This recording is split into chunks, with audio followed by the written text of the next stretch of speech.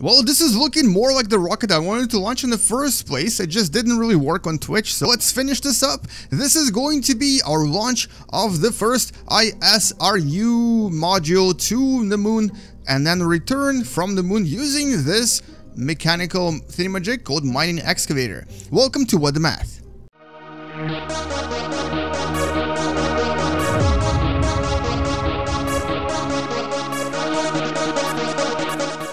And here we go, this is the rocket I started building during the Twitch stream and decided to finally finish it up. Uh, one thing I changed is I added these uh, KW rockets uh, booster tanks right here. These are slightly larger, using slightly more powerful rockets than what I used on Twitch. But you know what, it's not as important as what I finally brought. I actually finally decided to bring the most important uh, part and the most important unit, which is inside of this capsule. It's of course the... Oh, I don't know if I can show it to you. I'll just open these up. Here we go. We finally have uh, solar panels. This was the part that I was missing. So what's going to happen is we're going to land this on the moon, use these deployable drills to drill into the moon, and then replenish our uh, tank by using the ISRU module. Holy, these are really long. That's a really long drill you have sir. And then we're going to come back back to Kerbin, and hopefully Valentina will survive. I'm only bringing Valentina because she's the badass, and she's awesome, and she doesn't need anyone else anyway. Alright, so here we go. Three, two, one, and launch. Uh, take off. Let's uh, try to get into stable orbit around Kerbin. Ooh, this is a very powerful rocket. I really like it.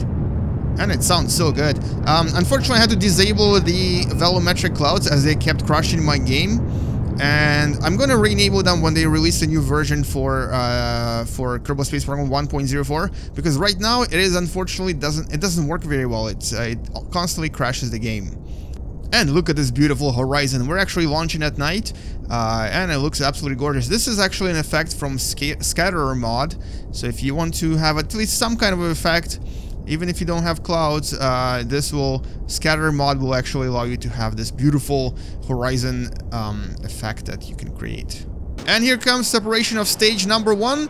We're now a flying uh, cucumber. I don't know what we are, but we are flying toward the um, of about 70 kilometers, and we need to try to circularize at that altitude.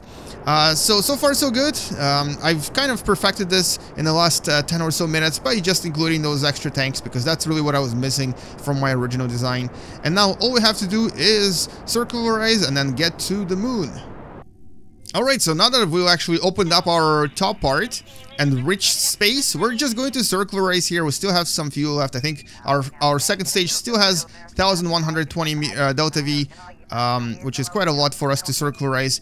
And then we're going to um, plot a trajectory toward the moon and get an intercept with it. So let's uh, let's wait until we circularize. And look at that beautiful sunrise that Valentina Kerman gets to witness. That's awesome. Very good timing. Very, very good timing. All right, so time to burn, I think. Yes, there we go. Let's start to burn our uh, toward our maneuver node, uh, which is right here. We need to burn for about 600 meters per second. And this will give us uh, an orbit of about 80 kilometers above Kerbin. And then we can actually release this stage. Actually, we still, we still have some uh, fuel left in there, but we can release it afterwards. And then we're going to propel ourselves to the moon, which is somewhere in the sky. I don't know where it is. I cannot see it, but it's somewhere out there. So our orbit is 80 and 86, relatively circular, not perfect, but you know what, we don't need it to be perfect. Let's plot a maneuver. Uh, we're going to set moon as target. And there's actually something already on the moon. I think this is my previous attempt at landing something there. I forget what it was, uh, but we don't need to know that. And let's uh, try to plot a course to the moon. Alright, that looks like a really nice intercept. We're gonna come right behind it, and uh, this will give us a periapsis of 90 kilometers. We'll actually adjust it a little bit. Now, the thing is, there's there is two possible approaches here. One is from uh, behind the moon, and one is from ahead of the moon. You would want to approach it from ahead of the moon if you were wanted to basically decrease your overall um, your uh, velocity because this this is like a reverse slingshot maneuver that will actually decrease the total velocity. But the thing is if you're trying to get into orbit around the moon or land on the moon this will unfortunately require more delta v. If you approach it from behind you're kind of catching up with it which will actually mean that uh, by the time you get closer to the moon you'll need to have much less delta V to land on it. So we're going to be approaching from behind because this is a lot more efficient that way.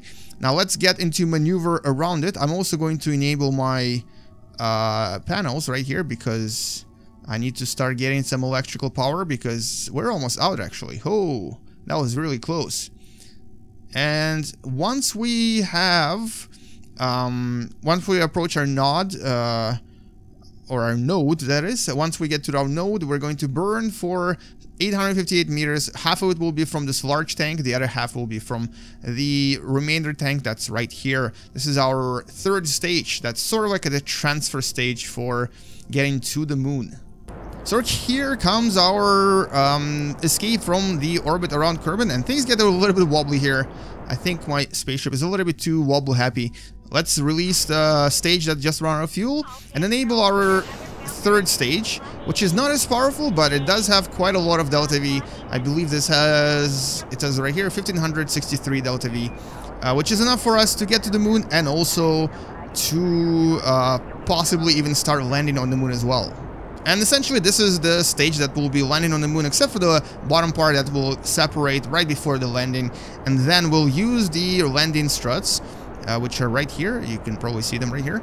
Uh, to uh, to land on the moon and hopefully not flip over. I, I just realized I think this ship is a little bit too uh, too tall and not um, broad enough for stability on the moon. So it may end up kind of flipping if we land on um, a slanted surface. I hope that it's a little bit more flat than usual so that we don't actually flip when we land. Because if we do flip, we'll unfortunately lose these panels. They'll probably end up getting smashed. And this is the final burn for Valentina Kerman before she gets into a really, really nice intercept with the moon. So this is what the spaceship looks like from an orbit right above Kerbin. Kerbin is in the background right here. You can see it, silhouette, right in front of the sun. Uh, and the intercept we get is 16 kilometers above the surface of the moon. I think this is pretty good. We're going to come um, right behind it. And then right here right at this point we're going to start decelerating so that we can actually land on the bright side of the moon because we need to use these uh, solar panels to to dig some um, materials for us to refuel our tanks. All right so let's just wait and see until uh, we get to the moon. So goodbye Kerbin. Hello moon. And here comes the moon. I've just created another maneuver node uh, that will hopefully help us get really low to the moon surface and then we can actually use a suicide burn to try to land.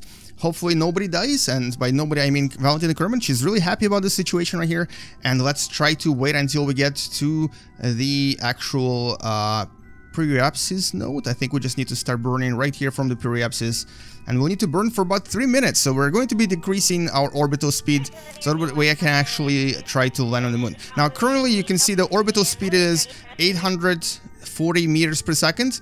Uh, this would have been over a thousand if I came from the other side of the moon. So this would be not very efficient for us. We'll actually be wasting about 300 meters per second delta V.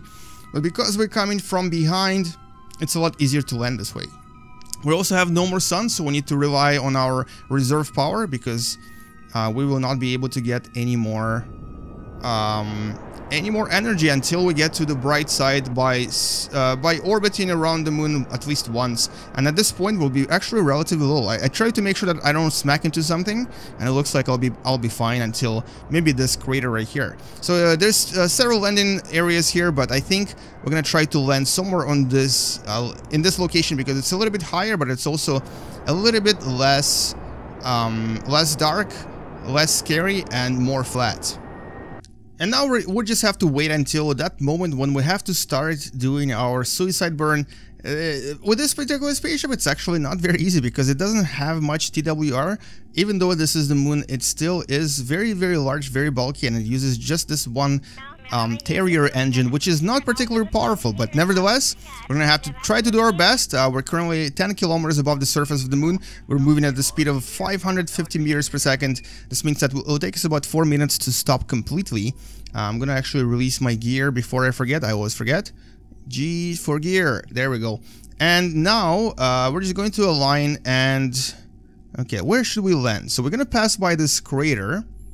And... Okay. Maybe maybe inside I don't think we'll be able to reach this area. Yeah, I think we're gonna be landing inside the crater again, but that's okay. Craters are fun. Alright, so let's land inside the crater. Uh, we're going to engage our engines in a second. I think the crater is coming up any minute now. Oh, oh, this is not good. We're coming toward the ground. We're a little bit too fast. I have to actually start burning toward the ground because I can actually see the rocks on, it, on the bottom now.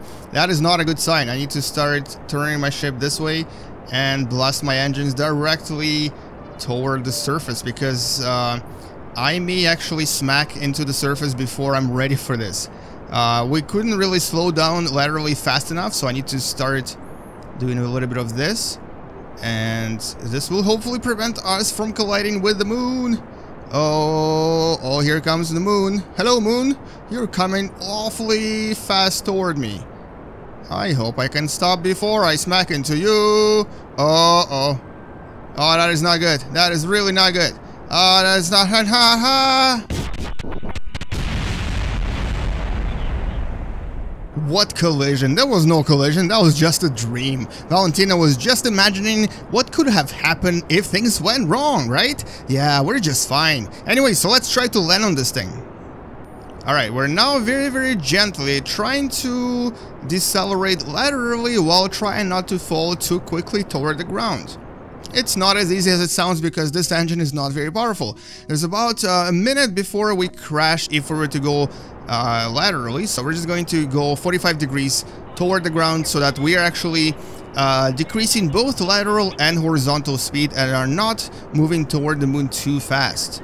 The, this is of course the vector of velocity right now and I'm trying to make it so that it's just a little bit above horizon but also not too high and not too low down.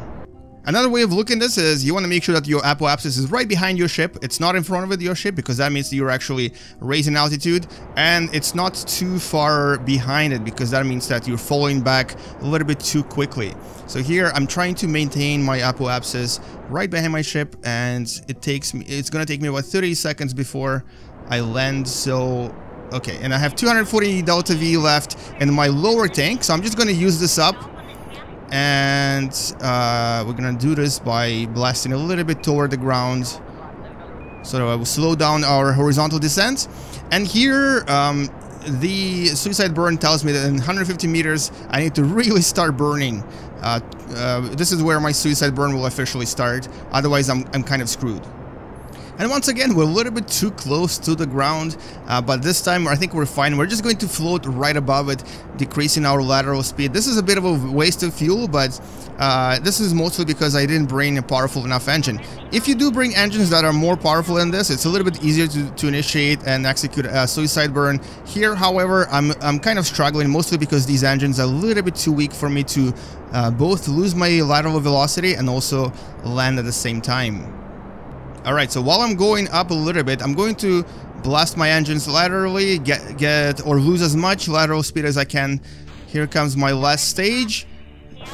And that explosion means nothing. That was just a tank exploding. Alright, excellent, excellent, excellent, excellent. So here comes my landing part, or landing stage. Uh, I have now decreased my velocity relatively nice.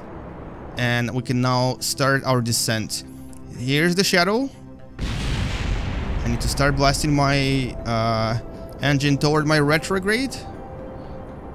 And here we go, here we go, here we go. 11 meters per second, that's a little bit too fast. 8 meters per second, okay, that's a little bit better. As you can see, this engine is really weak for this type of a setup.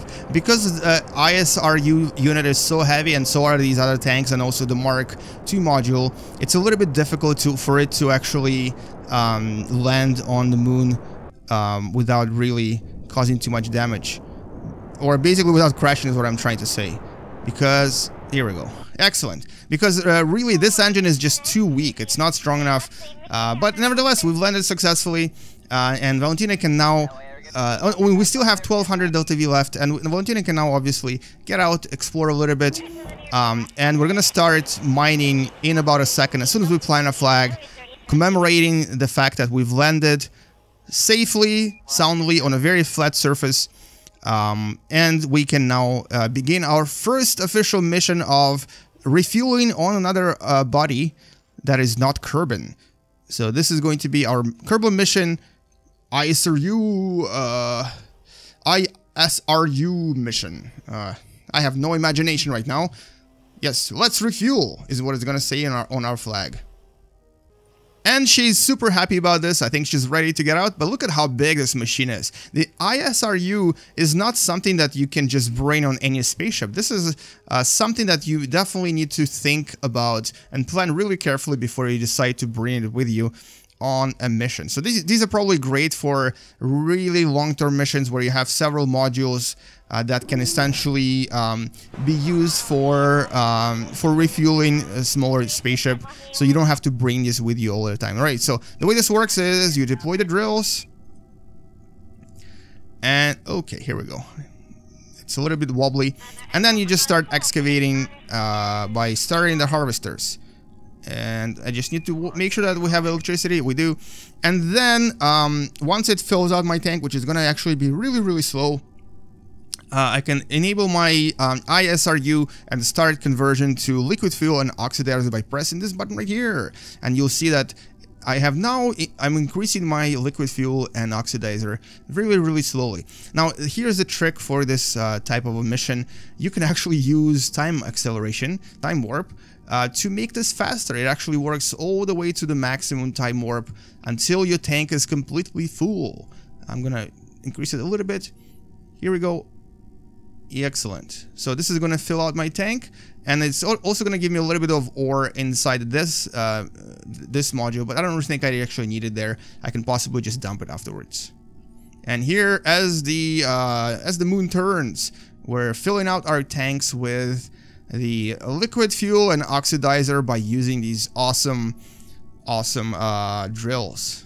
Okay, looks like we are are done. I'm just going to disable them. So stop surface harvester on both sides and retract the drills. Now here's the thing, if your ship is a little bit too tall, like mine is right now and it happened to me many times, if it's a little bit too tall, it can actually at this point flip.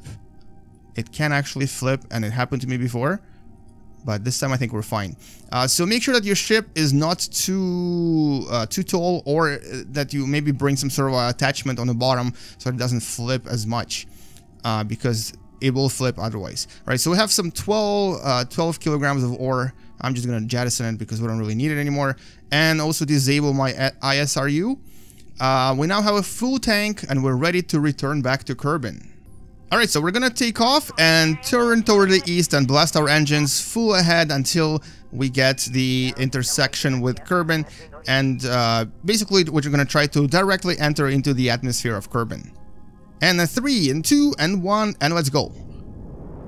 This is takeoff from the moon, turn toward the east, 45 degrees-ish. Uh, you can retract your gear and let's hope this works. And there is the flag for ISRU mission slowly disappearing into the distance. We'll probably never come back to it ever again, but you never know. This is actually a pretty nice location to land. It's really flat, and because this is a crater, it's uh, it's kind of sheltered from everything here, so there's no mountains, there's nothing else around it.